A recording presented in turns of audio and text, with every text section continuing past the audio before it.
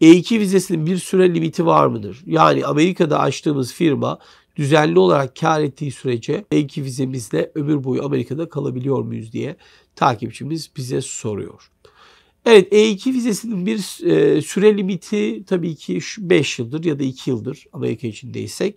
Fakat e, sınırsız şekilde bu yenilenebilir.